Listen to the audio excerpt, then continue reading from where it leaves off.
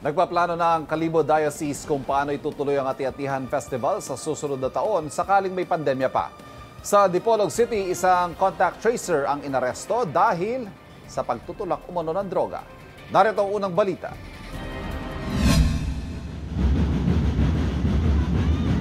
Ngayon pa lang, pinaplano na ng Kalibo Diocese kung paano itutuloy ang tinaguriang Mother of Philippine Festivals, ang ati-atihan sa Enero.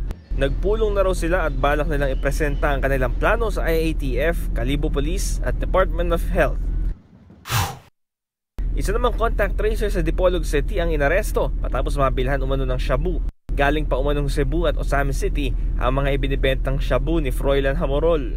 Nakuha sa kanya ang nasa 4 na gramo ng pinaniniwalaang shabu na tinatayang nagkakahalaga ng 50,000 pesos. Walang pahayag ang suspect. Nakakalong siya ngayon sa Dipolog City Police Station at nahaharap sa kasong paglabag sa Comprehensive Dangerous Drugs Act of 2002.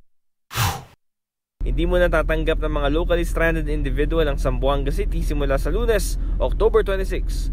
Limitado na kasi ang quarantine facilities ng lungsod. Papayagan naman makapasok ang mga umuuwing OFW at authorized persons outside residence basta may sapat na requirements.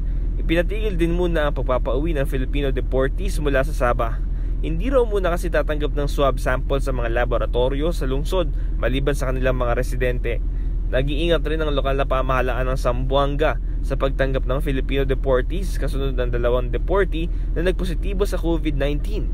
Kamakailan, inanunsyo ni National Task Force on COVID-19 Chief Implementer Carlito Galvez na binabantayan nila ang probinsya ng Tawi-Tawi dahil malapit ito sa Saba kung saan maraming naiulat na COVID cases. Bam Alegre, buong puso para sa Pilipino.